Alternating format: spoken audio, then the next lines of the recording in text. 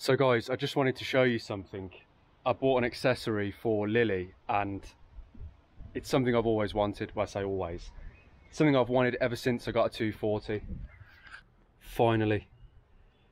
Yeah, they're expensive. They're really expensive. For a bit of plastic, I think they're charging 150 euros and it's just for this just for this plastic you know it's it's a joke really that's not where this came from so most of you guys will be familiar with Whiteland Restorations. It was actually a friend of theirs that I bought this off. I've actually seen him in one of their videos and I recognised his name when I saw him list these for sale on Facebook. You didn't check out my cheap Chinese wish clocks, did I saw them glow. Huh? I saw them glow. That that is the pinnacle of Chinese technology. They are sweet as oil, volts, and Huh. oil. Yeah, they aren't connected. Just well. Just for show. I don't even know if they work yet. We're missing one of the lugs here and a, a tab has broken off as well. One of these tabs. But he told me about that, I was aware of it.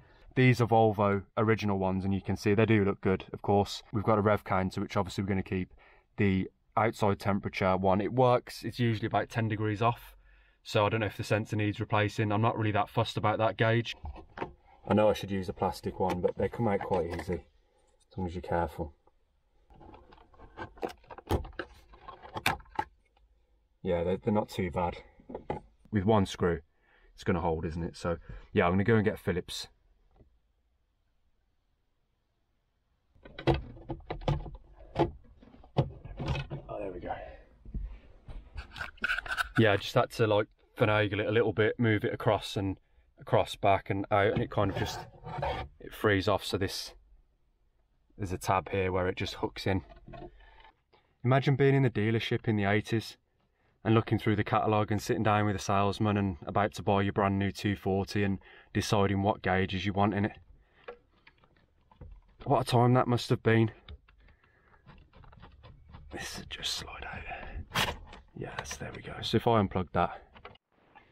So I thought actually before I put this voltmeter in, I mean even just to offer it up, if I test it first so I know that it works, because if not I'll have to order another one. Yes, it works. Look at that. I'm gonna plug one end onto here.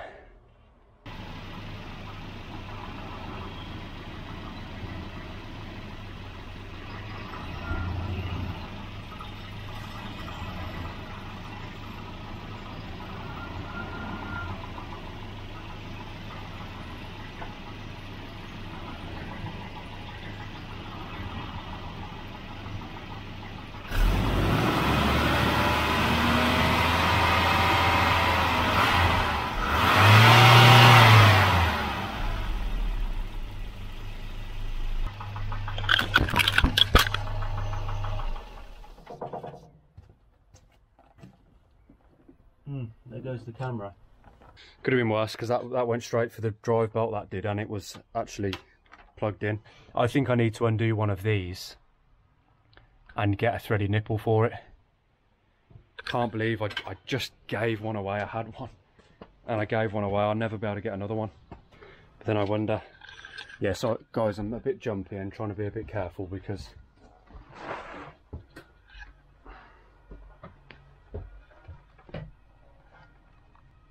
wasps nests. There's only a few little baby wasps flying around, but yeah, you can see some of them here. Anyway, I just pulled down this manifold from up there, so whilst being very careful. Now this nipple is what I gave to Mark. Yeah, he's actually, I think it's because he was, yeah, I'm pretty sure it's because it's turbo in his, so he, he needed it for the, uh, for stuff, but for reasons. So we've got the same on this, we've got these like blanking bolts here, plugs, I assume that's what they are. But then I just noticed this one. Now this goes to the fuel pressure regulator, but if that will fit into one of those holes, that could work, couldn't it? And then we have a dedicated line for our vacuum gauge. So I'm going to try and take out one of these plugs. Hope I don't mess anything up think it's the same.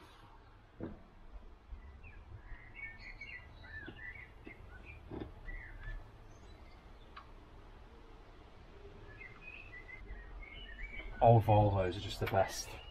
Now I just got to figure out where actually to run this line.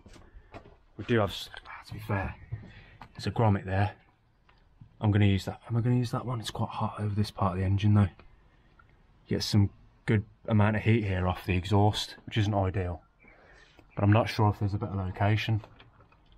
That's perfect, isn't it? That thing there, just punch a hole in that and just run through it. Yeah, that's it. All we need to do is punch a hole into that and uh, run this line through. I think that'll be totally fine, won't it?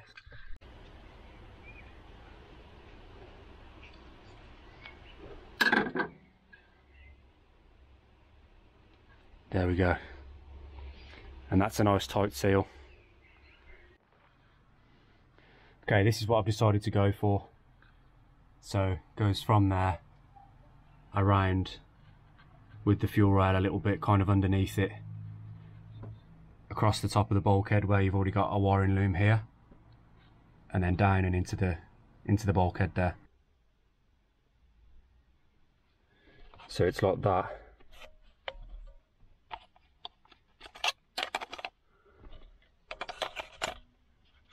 like that